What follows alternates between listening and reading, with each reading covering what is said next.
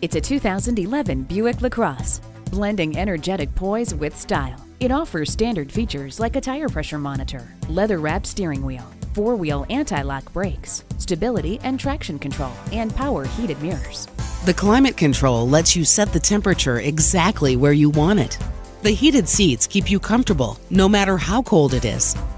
The world-class LaCrosse glides down the road with sophisticated suppleness and prodigious performance. You need to see it and drive it to believe it.